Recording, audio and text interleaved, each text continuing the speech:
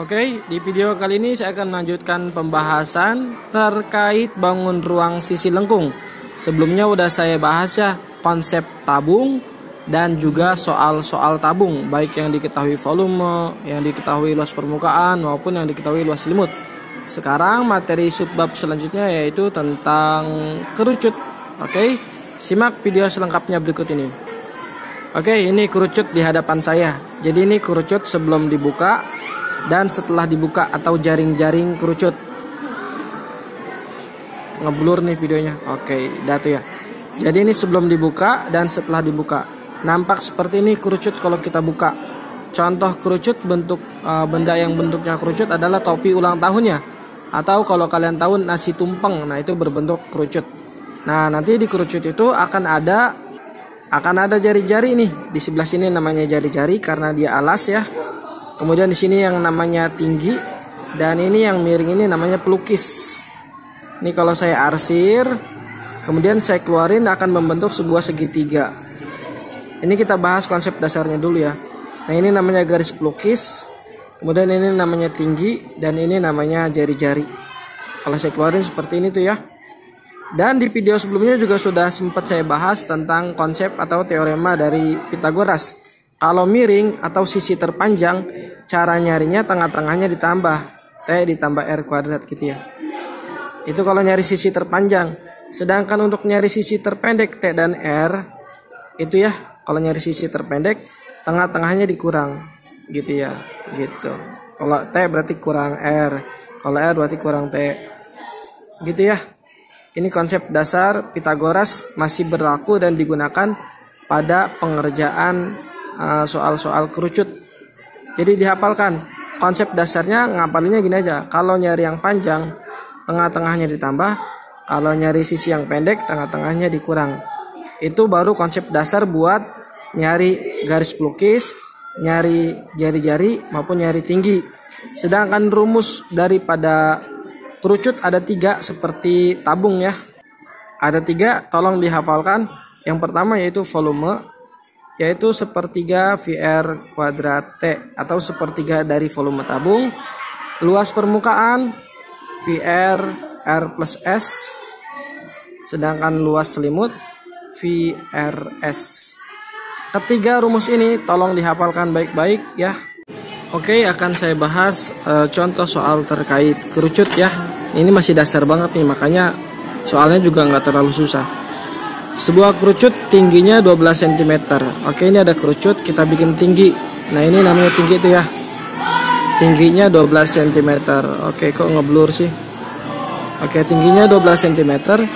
Panjang garis pelukisnya 13. Nah, ini garis pelukis yang miring 13. Oke. Uh, hitunglah volume B luas permukaan, C luas selimut. Ada garis pelukis, ada tinggi, yang belum ada jari-jari. Nah, kita cari jari-jari dulu nih. Nah, ini segitiganya kita potong, kita keluarin ke sini tuh. Ya, ini 13, ini 12. Berarti kita nyari ini nih, jari-jari.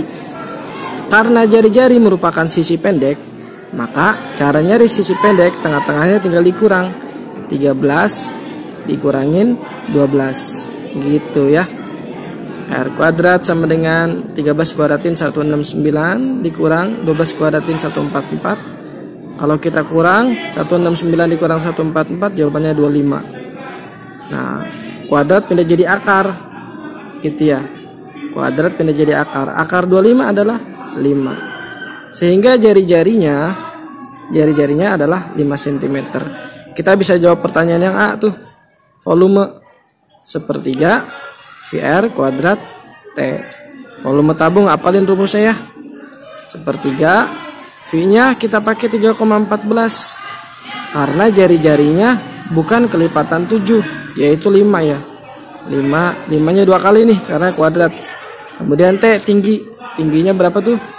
12. Bisa kita coret 12 dibagi 3 4. Nah, ngitungnya paling cepet yang bulat aja. 3,14 nya biarin yang bulat kita hitung 5 kali 5 25 25 dikali 4 100 gitu ya.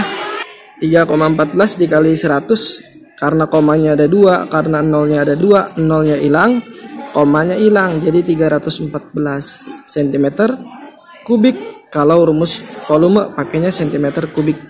Kemudian kita uh, jawab pertanyaan yang B yaitu luas permukaan. Ingat rumusnya? IR R plus S. V-nya 3,14 karena jari-jarinya 5 bukan kelipatan 7. R-nya 5, S-nya adalah garis pelukis. Garis pelukisnya 13.